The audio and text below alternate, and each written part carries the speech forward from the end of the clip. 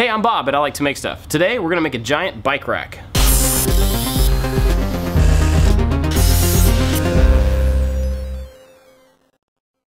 Four kids means lots of bikes, scooters, and skateboards, and we need a place to put them.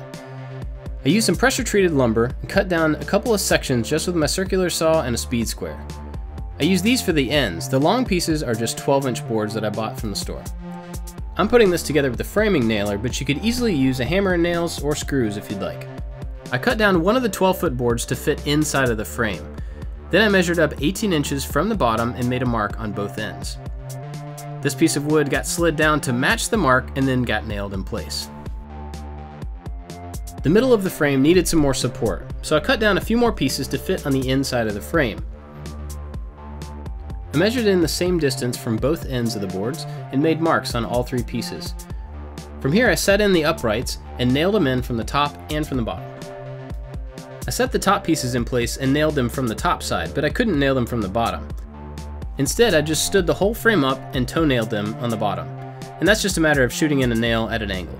Next I cut two feet to hold up the frame. I used a scrap to draw a line and then drew a 45 degree angle up from that point. Using the speed square again, I was able to cut off that miter on each end of each foot. From here I made a mark where I wanted the feet to sit on the frame and then just nailed them in place.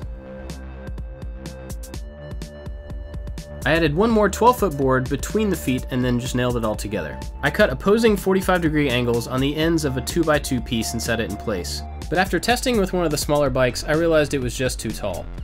Instead, I flipped the whole thing over. So I had to take the feet off, take all the nails out, flip it back over, and put it back together. I just needed to adjust the placement of the feet to match the height of the new bottom section.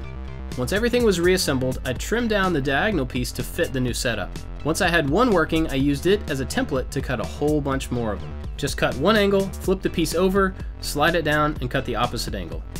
I screwed these in place with some decking screws and used a scrap piece of 2x4 as a separator. This way I didn't have to measure the distance between each one, I could just set the block in place, screw in the next piece, and keep moving along. And I had to do a whole bunch of these for both ends. To cover the front, I used these slats from this gigantic pallet that a friend of mine had given me, and I cut them all down to the same length, which was 12 feet, to match the boards that I'd used in the frame. The speed square is really handy on this project because it makes it easy to cut straight lines with the circular saw on just about any surface. And you can also use it as a spacer to lift things off the ground just a little bit.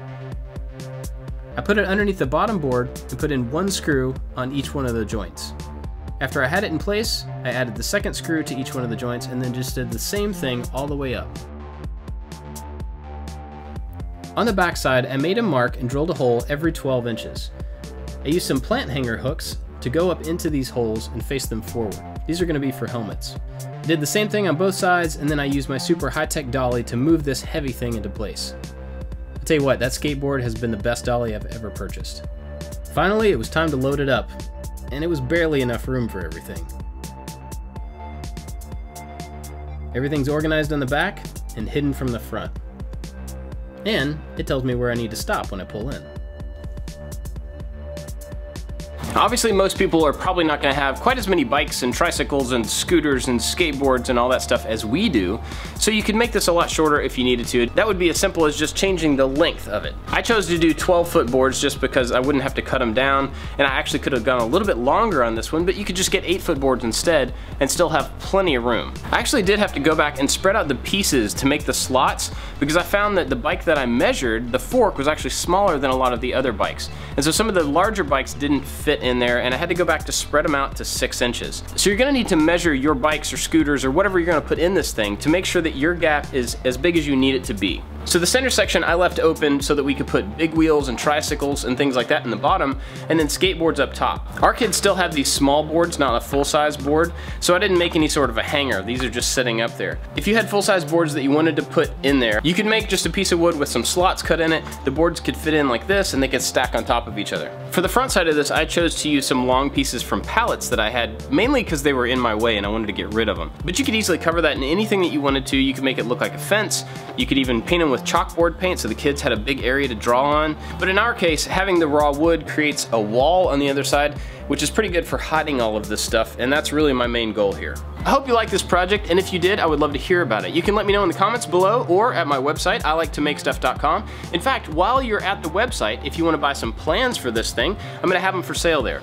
I'll put a link down below. If you want to see what I'm up to on a regular basis, you can follow me on Twitter or Instagram or Facebook. And don't forget to subscribe so you don't miss any of the new videos. Thanks for watching, guys. I'll see you next time.